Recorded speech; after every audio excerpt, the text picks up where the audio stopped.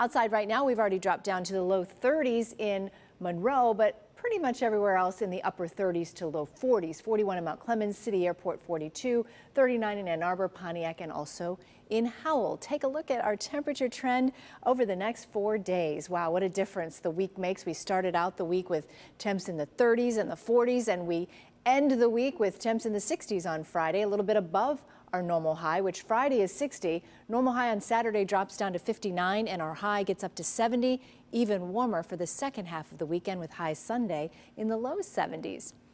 Well, we're talking about 70s for the weekend, and we're also talking about snow. That's a typical fall-like pattern here in Michigan. We've got a few clouds in place tonight, maybe a sprinkle or two on the east side. Otherwise dry overnight, with the exception of Alpena, getting a few light snow showers.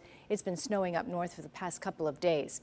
Wednesday, we start out the day. Uh, we have tonight at 11 o'clock, partly cloudy skies to mostly cloudy skies. Then tomorrow morning, lots of clouds for us, and we get a few showers in here mid-morning into the afternoon hours. Scattered showers, not everyone gets the rain, but we could see that rain continue through about 3 or 4 o'clock. Then by 8 o'clock, we just have mostly cloudy skies and it'll be dry and it starts a nice dry trend for us. 36 mostly cloudy and breezy overnight tonight. That's in the city. Suburbs will drop down a little lower than that. Tomorrow's high only 50 so still below normal. We have one more day of these below normal temperatures and then things change for the better.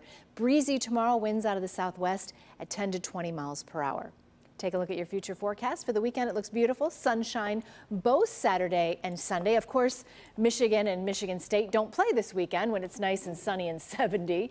Uh, Monday, we have a chance of showers mainly at night, so I think we'll get a good stretch there Friday, Saturday, Sunday, and even Monday.